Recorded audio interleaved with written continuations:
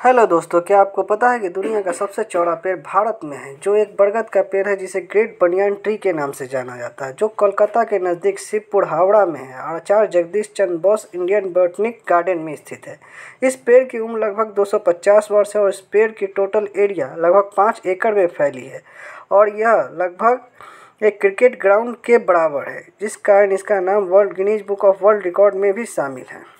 अगर आपको हमारी वीडियो पसंद आई हो तो हमारे चैनल को सब्सक्राइब करें, वीडियो को लाइक करें, कमेंट करें और शेयर करना ना भूलें।